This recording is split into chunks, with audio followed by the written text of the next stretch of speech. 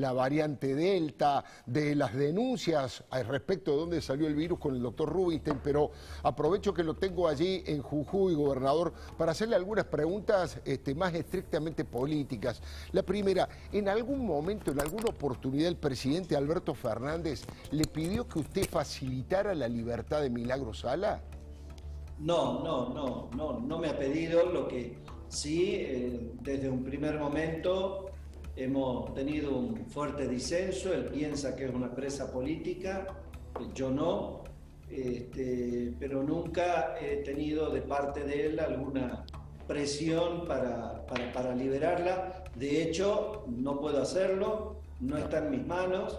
es un tema de la justicia, actuado la justicia federal, ha, dictado un fallo últimamente, este, donde ha intervenido el Tribunal Oral Federal, Cámara Federal de Salta, Casación ha intervenido varias veces, ha intervenido la Corte. Eh, en las causas provinciales, el 80% de los jueces han sido designados por gestiones del peronismo, que ha gobernado 32 años la provincia, de modo tal de que no está en mis manos, no es un resorte, y además en esto que tenemos una diferencia con, el presidente, eh, no se trata de una presa política, se trata de una delincuente que, ha violentado al pueblo de la provincia este, y con un esquema de corrupción muy, muy complejo que usted, Alfredo, lo, conoce bastante y, y, que yo creo que el día domingo también el pueblo de Jujuy, una de las señales más importantes que dio es que votó por la paz y en contra de la violencia.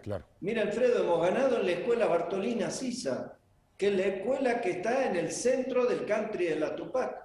Teníamos en cada mesa 80 votos para el Frente Cambia Jujuy, 6, 7 votos para la fuerza política para los candidatos a diputados de Milagro Sala, es decir, los propios vecinos tupaqueros votaron en contra de, de la violencia. Entonces, me parece que hay allí una señal también importante para terminar con esta farsa de la victimización de Milagro Sala y espero que esta vez sí el gobierno nacional haga una buena lectura de este resultado que en esto eh, ha sido, diría yo, central porque tiene que ver con cómo queremos vivir los jujeños. No podemos vivir en un estado de violencia y de corrupción. en democracia la única manera de de resolver los problemas del presente y proyectarnos al futuro es con respeto y aún en el marco de la diferencia sin violencia, ¿no? Yo coincido este, muchísimo con esa, ese castigo, ese voto castigo que hubo a la actitud eh, agresiva, hostil, violenta y corrupta de, de Milagro Sala, pero eh, también es cierto, gobernador, que eh, figuras como, Juan Grabois, como Horacio Berbisky, como la propia ministra Gómez Alcorta, han pedido, Zaffaroni incluso ha llegado a pedir públicamente la intervención primero de la justicia en Jujuy. Y algunos han pedido hasta la intervención, es una locura, pero quiero saber su opinión porque han pedido hasta la intervención de la provincia. Bueno, son las personas que usted ha mencionado, son los que han construido un relato de ficción, porque la verdad hay pruebas irrefutables. Además, yo a, a no pocos funcionarios del gobierno nacional les llevé carpetas e inclusive a algunos les dije, mirá, fíjate todos los bienes que tiene. Es más rica que vos. Es una dirigente social y resulta que se ha enriquecido más que, que, cualquier empresario próspero de la provincia de Jujuy. Entonces, este, hay allí una situación que se ha generado por estas personas que han, que han generado, han construido un relato, una idea sobre falsa sobre una situación que no solo la vimos los jujeños, es decir, los bolsos con plata que salieron del, Banco Nación, que fue probado, que fueron a la Casa de Milagros Salas, que la vimos todos los argentinos, no es de ficción. Si ahí había plata en concreto que se llevaron. Acá hay 2.000 viviendas que se pagaron y que no, que, y que no se construyeron. Es decir, hay realidades tangibles que tienen que ver con la, la corrupción y también con hechos de violencia que, que hemos padecido mucho los jujeños y que por eso vuelvo a la elección y a la importancia del, resultado del día domingo, más allá de ratificar una, gestión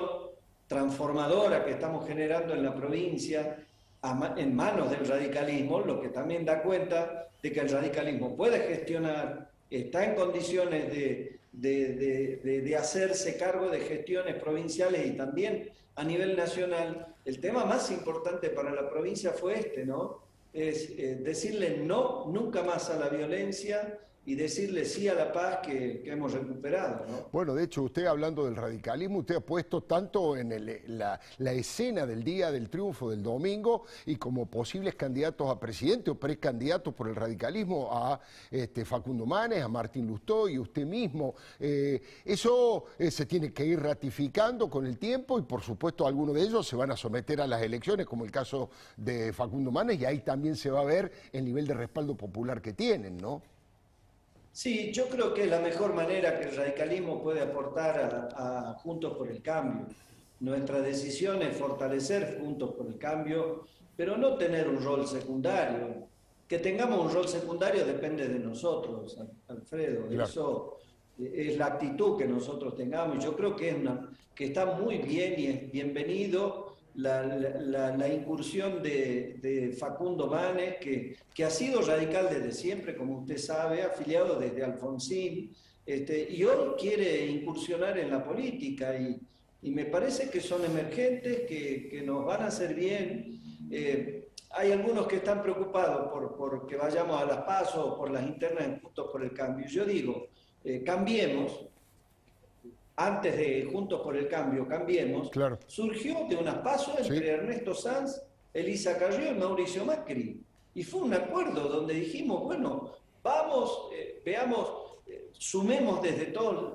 los, lugares, desde todas nuestras representaciones y fortalezcamos Juntos por el Cambio. Así que yo estoy seguro que Facundo Manes va a hacer un gran aporte eh, en las próximas horas va a estar en los próximos días, va a estar anunciando, confirmando eh, algo que todos los radicales sabemos, él está dispuesto a dar la batalla,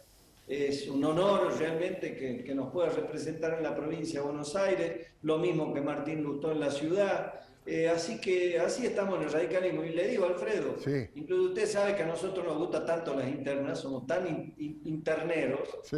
donde hay radicales siempre hay una interna, pero hoy estamos con la, con la convicción de cerrar filas en el partido, de, aportar desde otro lugar, de llegar con un plan de gobierno, así que yo creo que es eh, bastante proactivo y propositivo lo que plantea el radicalismo dentro de Juntos por el Cambio.